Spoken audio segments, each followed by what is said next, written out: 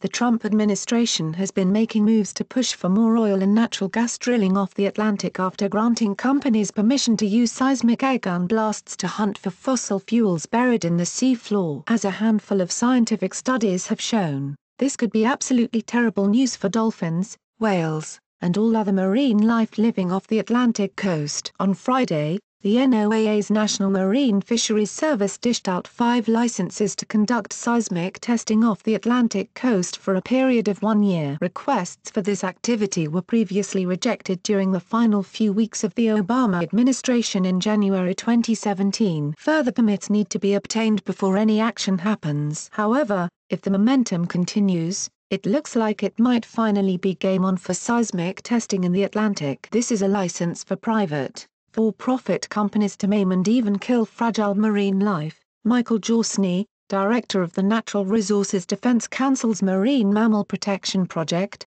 said in a statement. And it's the first step in exploiting the ocean treasures we all own all in a reckless quest for more fossil fuels that speed up climate change. The controversial technique uses a specialized air gun to blast the seafloor every 10 seconds for weeks and weeks at a time. The blasts are so powerful, they can travel through the sea for thousands of kilometers and penetrate deeply into the seafloor. By analyzing the rebounding signal that bounces back from the blast, scientists are able to work out what's going on beneath the surface and detect the presence of oil or natural gas. Quite obviously, this is terrible for marine life, whether it's colossal endangered whales or microscopic plankton. A study, published in Nature Ecology and Evolution last year, found that seismic surveys caused significant mortality to zooplankton populations over a wide area. This is fairly daunting because these tiny creatures are the basis of most marine food chains. Furthermore, a 2014 survey by the U.S. Bureau of Ocean Energy Management argued that seismic surveys in the Atlantic would disturb at least 100,000 whales and dolphins,